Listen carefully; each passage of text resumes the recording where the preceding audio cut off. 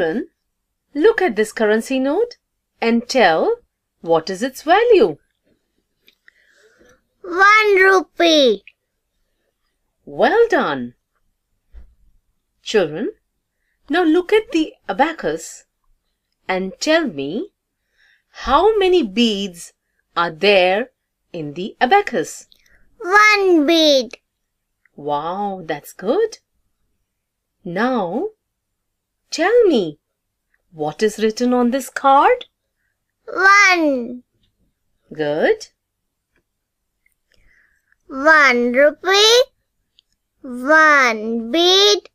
One. Two rupees. Two beads. Two.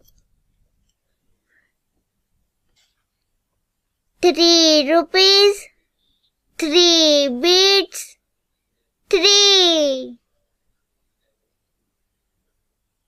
Four rupees.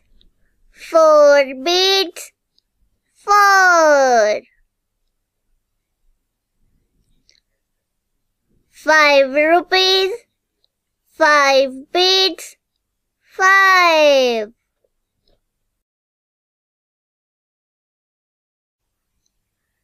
Six rupees. Six beads. Six. Seven rupees. Seven beads. Seven. Eight rupees. Eight beads. Eight. Nine rupees. Nine beads. Nine. Good. As we can put only nine beads in one stick. So, we will put one bead in the second stick instead of 10 beads that we had put in the first stick. The second stick is for the place value of 10. Hence, we call it tens place. 10 ones are equal to 110.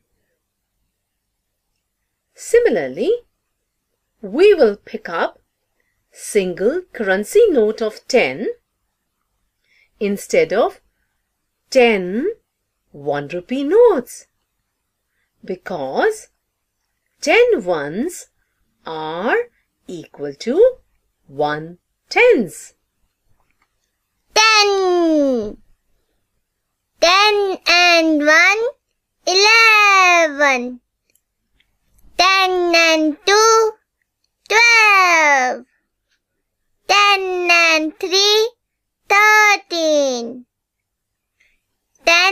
and four, fourteen. Ten and five, fifteen. Ten and six, sixteen. Ten and seven,